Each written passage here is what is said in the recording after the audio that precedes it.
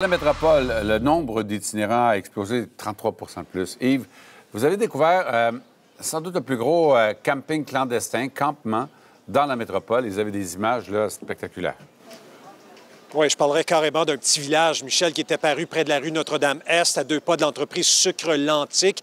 Euh, les images tournées par le collègue caméraman Frédéric avec le drone sont époustouflantes. Regardez bien ça à l'écran, Michel, et vous allez découvrir derrière cet immeuble désaffecté, justement, une petite communauté de personnes en situation d'itinérance qui ont érigé leur tente comme ça. Du haut des airs, là, euh, vous voyez qu'on a accumulé une tonne d'articles divers.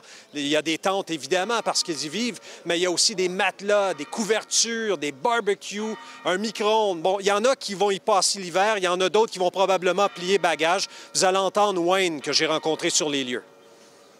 Cet hiver, c'est impossible pour vous de rester ici. Vous allez geler, euh, l'humidité, la pluie, le verglas. Il y en a un qui ça fait 9 ou 10 mois que c'est ici.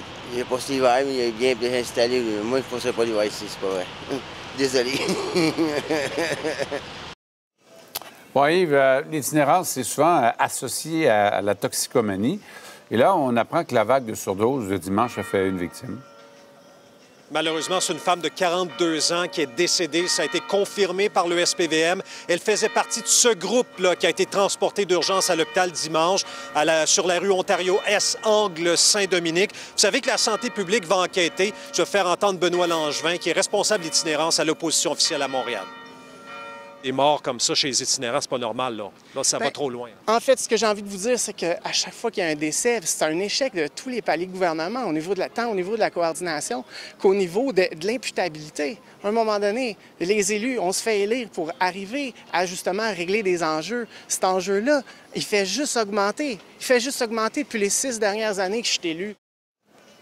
La mairesse Plante va réagir à 13 h. Michel, nous serons là pour vous présenter ça en direct.